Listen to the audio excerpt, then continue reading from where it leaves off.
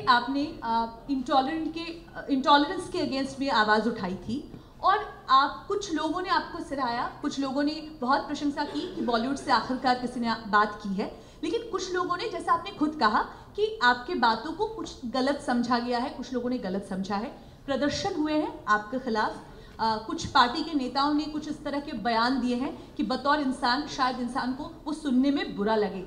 तो वो जो आपका पूरा का पूरा फ़ेज़ गया है ज़रा सा अगर हम उसके बारे में बात करना चाहें कितना बुरा लगा है शाहरुख खान को बिकॉज़ शाहरुख खान इस फ़िल्म इंडस्ट्री में खान किंग खान कहा जाता है। आपने इतनी फ़िल्मों में काम किया है लेकिन वही लोग जो आपको प्यार करते हैं उसी के एक सेक्शन के लोग अगर इस तरह के आपके बारे में कमेंट करें। वही सेम सवाल है? आपने हिंदी में पूछ रही हैं इसलिए हिंदी में बोल दूँगा जवाब उसका मैं। आ, मैं इतने सालों से काम कर रहा हूँ पचास साल का हूँ और मैं जहाँ पर भी गया हूँ देश भर में, पिछले 25 साल के अंदर मुझे अपार प्रेम मिला है, प्यार मिला है। हर रीजन से, हर प्रांत से लड़के और लड़कियों से मर्द और औरतों से, बच्चों से हर भाषा के लोगों से, यहाँ पे गुजरात में, दिल्ली में, मध्य प्रदेश में, केरला में, कर्नाटक में। और उस उस, वो जो प्रेम है, बिना किसी भेदभाव के वो प्रेम मुझको अनकंडीशनल मिला है। मुझे एकदम अपार प्रेम मिला है। हम सबको, जितने भी लोग हम फ़िल्मों में होते हैं। और उस प्रेम के लिए मैं सिर्फ़ अपने काम के ज़रिए, अपने काम के थ्रू शुक्रिया कह सकता हूँ। और मेरा जो काम है पच्चीस साल से हमेशा इस बलबूते पर चलता है कि मैं खुशी फैलाता हूँ।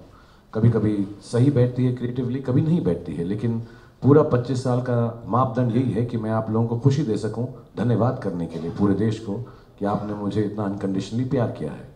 तो जब भी उस अनकंडीशनल प्रेम में हम दोनों के बीच में मेरे जो लोग मुझे प्यार करते हैं और जो मैं उनको शुक्रिया कहना चाहता हूँ कभी भी कुछ भेदभाव आ जाता है।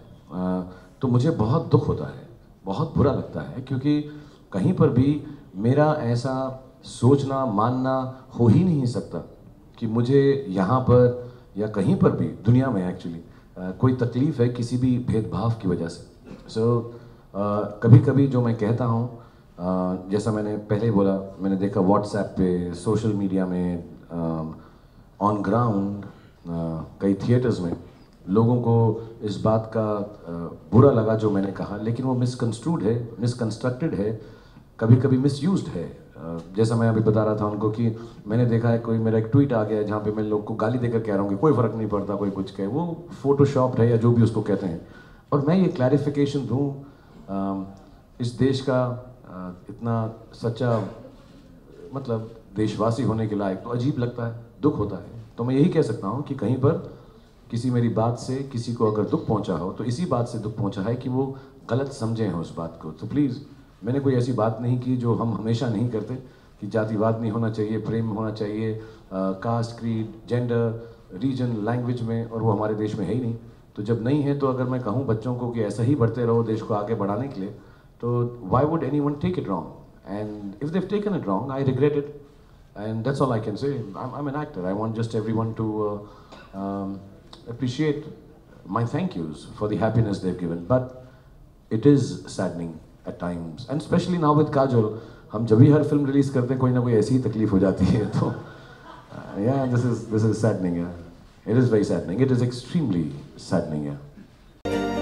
Hi everybody, I'm Shah Rukh Khan and uh, watch me only on facebook.com slash business of cinema.